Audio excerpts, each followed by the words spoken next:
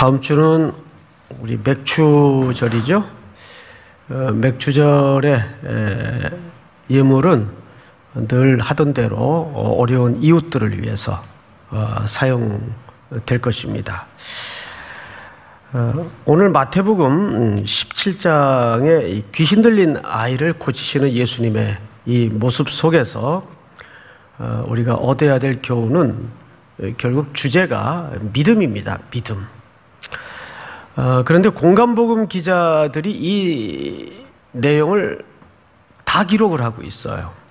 변화산의 내용을 다 기록했듯이 이 내용은 어, 공간복음 기자들도 어, 똑같이 기록을 하고 있는데 강조점이 조금 조금씩 어, 다릅니다. 어, 예를 들어서 어, 누가복음 같은 경우에는 누가의 기자가 어, 이 모든 결과를 하나님의 영광과 위엄에 초점을 두었어요. 그래서 모든 사람들이 하나님의 그 위엄과 영광에 놀랬죠. 그리고 하나님께 영광을 어, 돌리게 됩니다. 그리고 두 번째는 마가복음인데 마가복음 기자는 금식과 기도 외에는 이런 유가 나갈 수 없다. 금식과 기도 외에는 이런 유가 나갈 수 없다. 그래서 기도에 강조점을 두었어요. 근데 오늘 이제 우리가 살펴볼 마태 기자는 어, 믿음에 초점을 둡니다. 그래서 믿음에 대한 설명이 유독 자주 많이 등장을 해요.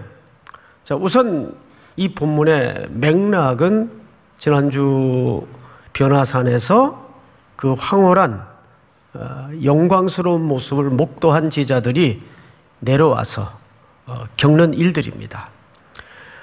어, 우리 지난주 변화산 사건의 그 초점을 어떻게 이해를 했는가 하면 변화산 위에 예수님의 변형의 모습은 빛이 나고 옷이 희어진 모습은 신적인 존재로서의 영광이 아니라 그랬어요. 그것은 인간으로서 궁극적으로 변형될 예수님의 모습을 미리 보여주는 설명이라고 말씀을 드렸었죠. 그러면서 동시에 우리들에게도 그러한 궁극적인 목적지로 이끌어 갈 것을 예수님이 암시하고 담아내고 싶었던 메시지가 변화산 위에 설명이었어요. 그리고 이제 제자들은 막 정신이 없는 상태에서 산에서 내려오는데 아무도 보이지 않고 오직 예수만 보이더라. 이것이 지난주 결론이었죠? 그리고 산에서 내려왔는데 한 아버지가 한 아들을 예수님에게로 데려와요. 그러면서 하는 얘기가 선생님이 안 계신 틈에 당신의 제자들에게 이 아이를 부탁을 했었는데 어찌하지 못하더이다. 이 아이를 좀 고쳐주십시오. 근데 그 아이의 상태는 매우 오랫동안 심각한 상태예요. 이제 그 현실적인 부분을 좀 보도록 하시죠. 자, 14절을 좀 볼까요? 오늘 본문 첫 절인데 그들이 무리에게 이름에 예수의 일행들을 얘기하는 거겠죠. 한 사람이 예수께 와서 꿇어 엎드려 이르되 주여 내 아들을 불쌍히 여기소서 그가 간질로 심히 고생하여 자주 이 자주라는 말은 반복적인 상태가 오래되었다 그 뜻이에요. 자주 불에도 넘어지며 물에도 넘어지나이다. 이렇게 되어 있어요. 자, 근데 여기 병명이 뭐라고 되어 있죠? 간질병이라고 되어 있어요. 간질병. 그런데 이 병명을 좀 조사를 해봤더니 이 병명에 담아진 내용들이 좀 뜻밖입니다. 이렇게 루나라는 표현을 써요. 루나. 영어로는 어, 달을 뭐라 그러죠? 달 문이라고 하죠. 문. 그런데 루나르 어, 뭐 정확히 표현을 하자면 영국식 발음으로 하자면 어, 이게 이제 달이에요, 달. 그래서 이 병이 문스트럭트라 그래서 이제 달병이라고도 합니다. 달병. 이 당시 사람들이 아마도 그렇게 믿었던 것 같아요. 어, 예를 들어서 어, 아 이런 발작병은 어, 달의 기운을 받아서 영향을 어, 끼친 걸 거다. 이런 어떤 전해 내려오는 이야기가 있었던 것 같아요. 그래서 이 헬라 말을 보면 이렇게 되어 있습니다. 아, 세레니아 조마이. 그러니까 여기에서 어, 세레네라는 달이라는 표현이 등장을 하죠. 어, 그런데 여기서 간질이라고 했을 때는 하나의 그 나타나는 표현, 어떤 증상을 얘기하는 거지, 어, 그렇다고 해서 이 병이 뭐 귀신이 관계된 병이라든지 그런 식으로 오해를 하면 안 되죠.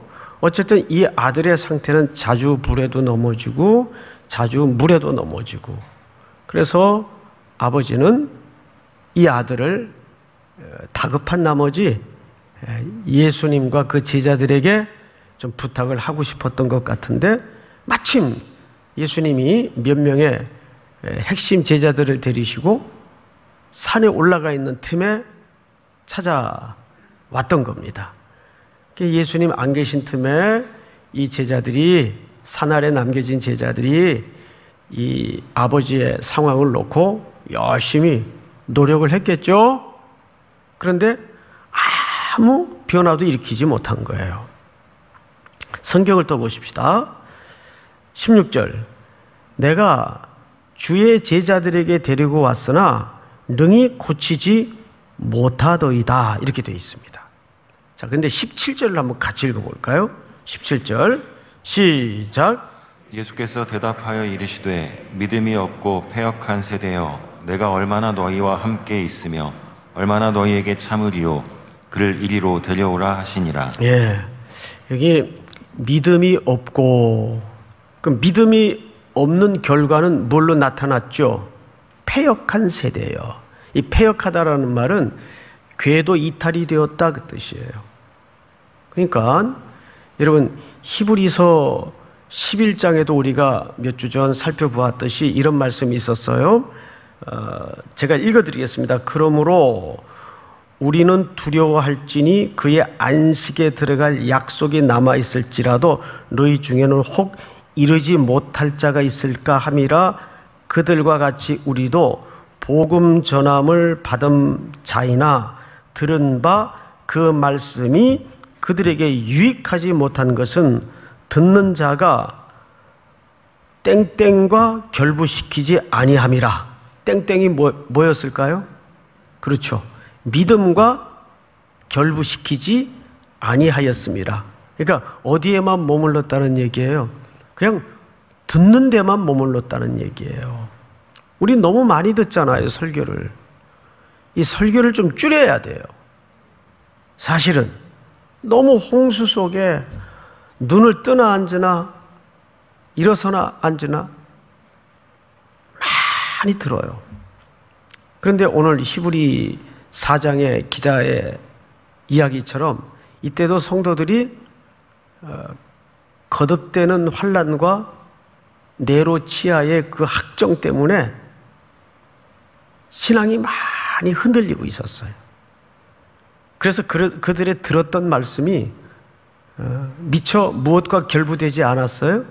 그들의 믿음과 결부되지를 못했어요. 자, 오늘 이 제자들도 이제 거의 3년 가까운 시간을 예수님을 쫓아다녔어요. 동고동락하고 예수님이 일으키시는 기적도 보고 예수님의 말씀도 누누이 들었어요.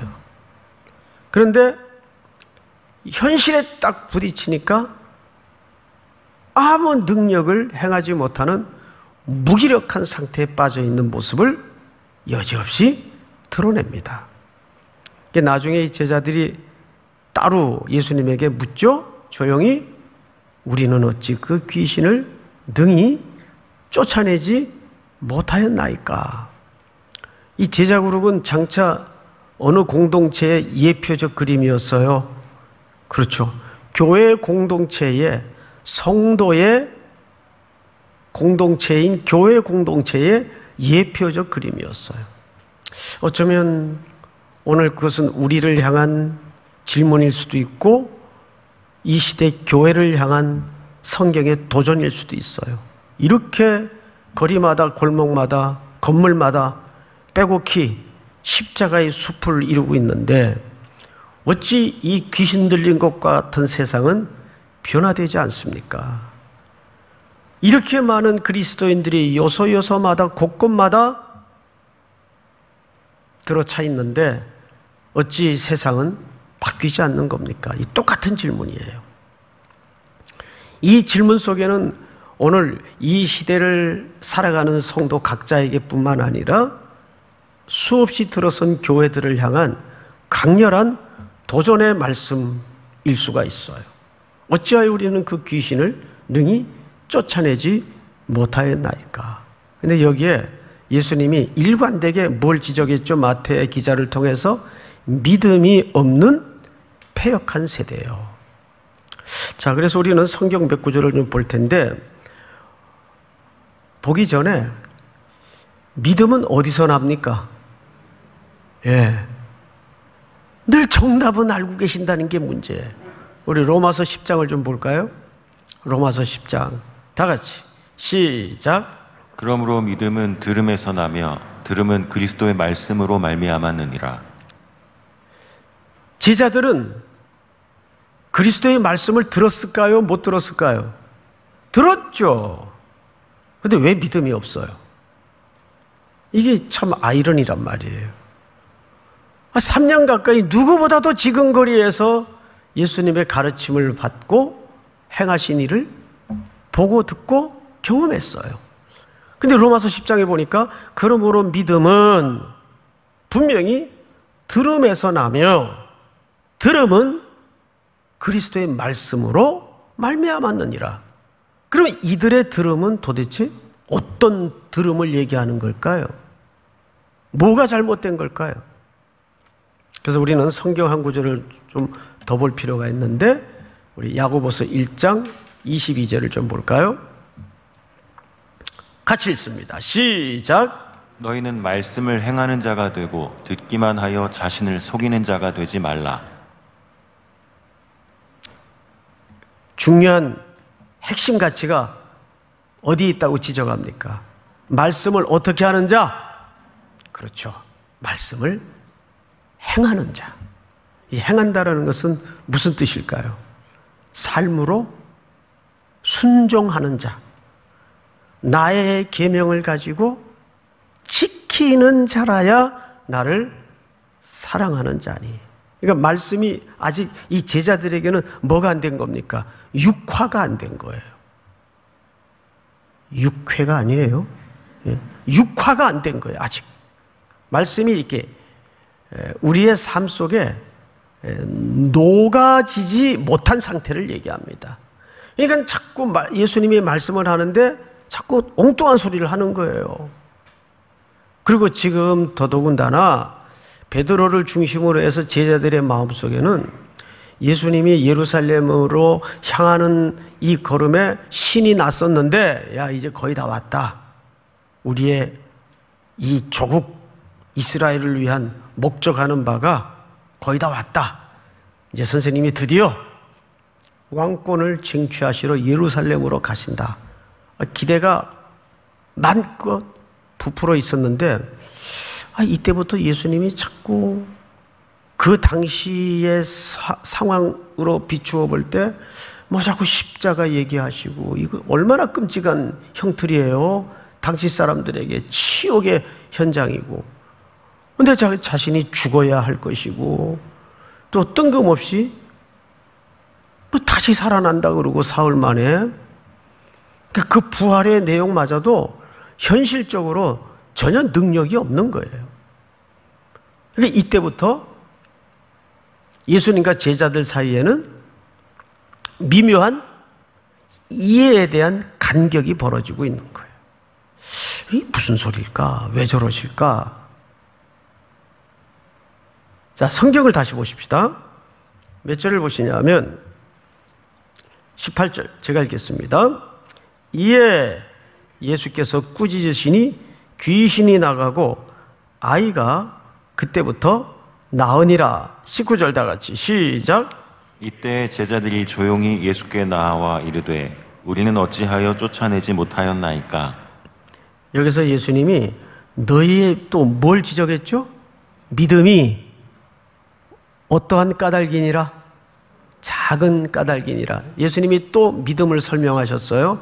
근데 앞에서는 믿음이 작다 그랬어요? 없다 그랬어요?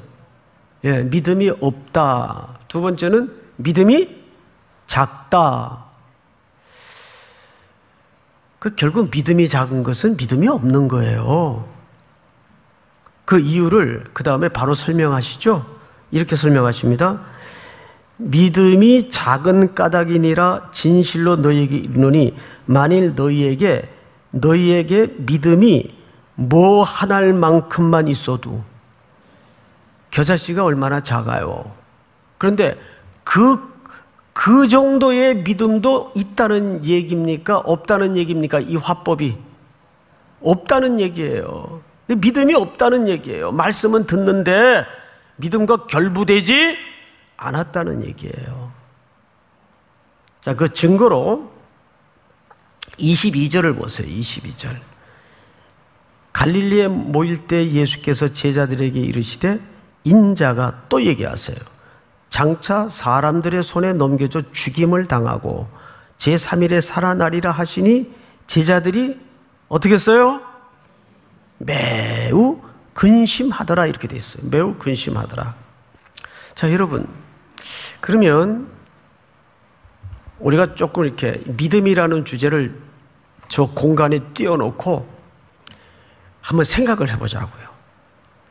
과연 이 믿음이라는 것은 뭐에 대한 믿음일까?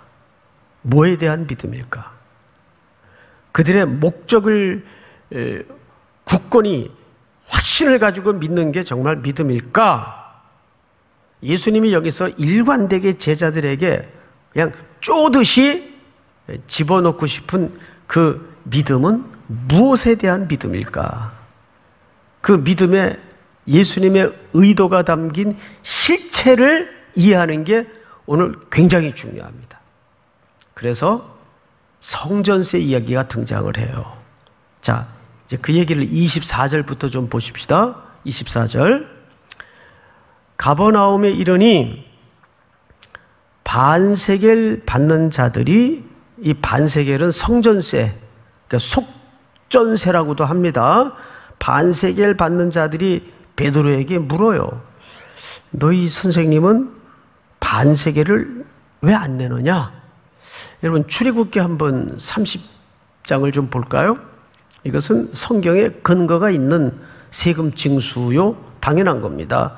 무릇 기수 중에 드는 자마다 성소의 세겔로 얼마를 낼지니 예, 반 세겔을 낼지니 한 세겔은 20개라라 그 반 세겔을 누구에게 드릴지며 예, 여호와께 드릴지며. 이 출애굽기 여러분 나중에 12절서부터 쭉 읽어보면 이것이 사실은 어떤 성격의 세금인가 하면 속전세 1인당 속죄를 상징하는 세금으로서 속전세라고도 합니다.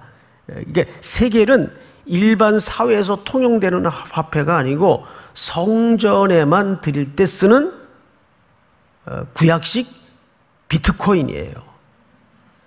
예, 독특한 이제 화폐 단위죠. 그래서 이 세계의 단위는 오랜 역사를 가지고 있단 말이에요. 그 느헤미야서 같은 데도 찾아보면 느헤미야 10장에 나중에 가셔서 보세요.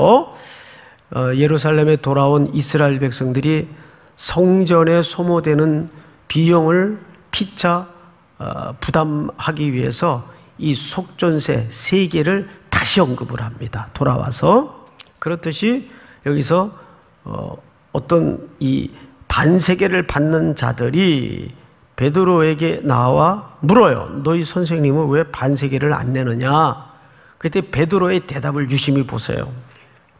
이르되 내신다. 그러니까 어, 거, 걱정하지 마세요. 그분 내십니다. 근데 예수님한테 물어보지도 않고 선생님 세금 내실 거예요? 안 내실 거예요? 이게 물어봐야 될 거 아니에요? 근데 지 맘대로 어, 내신다 걱정하지 마라. 이러고 이제 집으로 들어갔어요. 예수님 계신 숙소로 들어가니 예수님이 벌써 알고 계세요. 그래서 먼저 묻죠. 예수께서 먼저 이르시되 시몬아 네 생각은 어떠하냐? 참 예수님의 교육법이 참 놀라워요.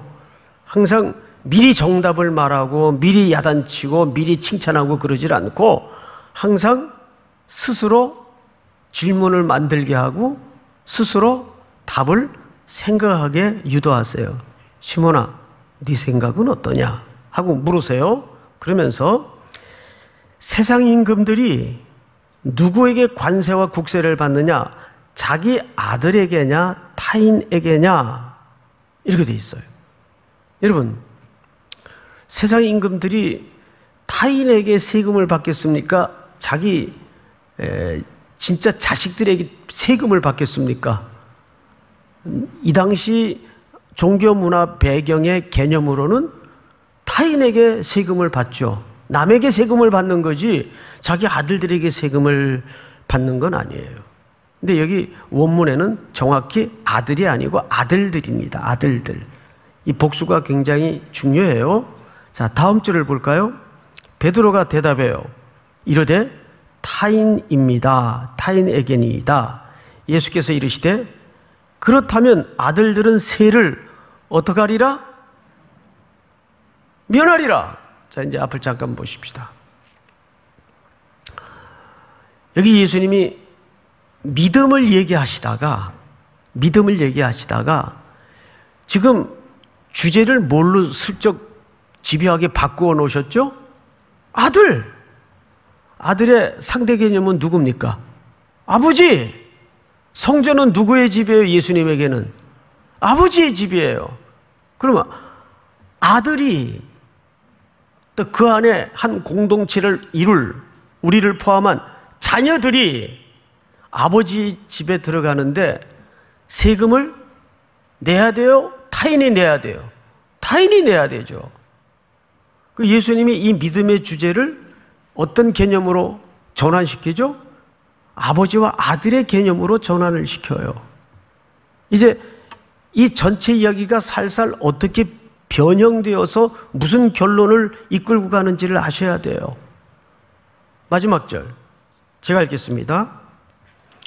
그러나 우리가 그들이 실족하지 않게 하기 위하여 네가 바다에 가서 낚시를 던져 먼저 오르는 고기를 가져 입을 열면 돈 몇 세계를 성전은 몇 세계를만 바치면 됩니까?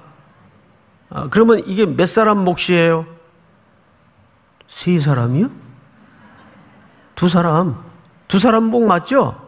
예. 아, 제가 잘못 들었던 것 같아요. 두 사람 몫이죠. 그리고 예수님 이렇게 대답하세요. 한 세계를 얻을 것이니 가져다가 나와 너를 위하여 할렐루야 나와 너를 위하여 주라 하시니라 정확한 예수님의 논리대로라면 예수님은 낼 필요가 있어요 없어요 낼 필요가 없어요 베드로만 내도 돼요 그런데 나와 너를 위하여 이 말은 무슨 얘기를 하고 싶은 걸까요?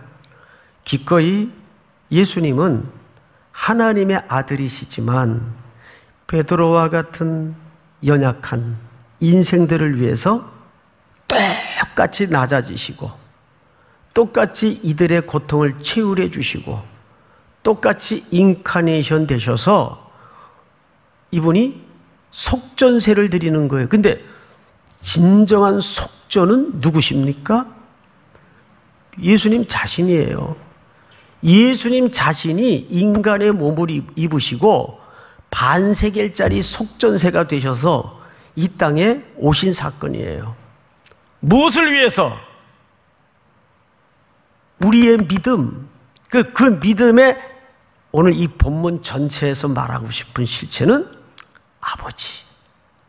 하늘 아버지는 우리들의 아버지라는 얘기예요. 믿습니까? 그 얘기를. 그러니까 믿음의 가장 중요한 실패, 실체는 하나님을 누구로 사는 연습을 해야 됩니까? 아들로 사는 연습을 해야 돼요. 여러분들이 어떻게 아버지로 살아요? 하나님, 하나님을 내가 누구로 사는 연습을 해야 돼요? 아버지. 그 믿음 애로까지 아직 제자들이 가 있지 못하니까 예수님을 따르는 이 미션 자체가 그냥 사역으로만 이해를 하고 조국의 독립으로만 이해를 하고 인간의 필요를 채우는 이래로만 이해를 하는 기독교와 복음의 왜곡이 벌어지는 거예요. 가장 중요한 것은 뭐예요? 우리가 아들로 사는 연습을 해야 돼요. 그게 믿음의 가장 중요한 실체예요. 그러기 위해서는 우린 결국 하나님의 말씀에 늘 천착해서 하나님이 내게 어떤 아버지가 되시는가? 여러분, 결국 예수님의 일생이 짧았지만 일관되게 우리에게 뭘 보여주신 삶이었는지 아세요? 아들로 사는 삶을 보여주셨어요. 그분의 말씀에 온전히 순종하시고 자기의 뜻을 내려놓고 그러니까 예수님의 일생은 아들로 사는 삶이 어떤 삶인가를 보여주신 거예요. 믿습니까? 한 주간 동안 또 이렇게 모니터로 예배하는 분들까지 포함해서 집중해야 될 것은 뭐냐면 나는 얼마나 자녀로 살아가고 있는가? 아들로 살아가고 있는가? 그 아들만이 하나님의 나라의 왕국, 바실레이아 왕국에 들어갈 수 있는 거예요. 그래서 18장은 결국 왕국의 이야기가 시작이 돼요. 천국은 누가 들어가는 것이냐? 어린아이와 같은 자가 들어간다 그러잖아요. 18장에서. 믿습니까? 여러분들이 어떤 시련에 던져져 있고 어떤 고난 앞에 맞물려 있지라도 내가 그때마다 누구인가를 확인해야 돼요? 아들, 자녀. 우리 자녀로 삽시다. 아멘만 하지 말고. 할렐루야. 정말 아들로 딸로 삽시다. 그러면 자유로워져요, 여러분. 온전한 자녀가 될 때 진짜 복음을 누리는 자유가 강물처럼 임하기 시작합니다. 할렐루야.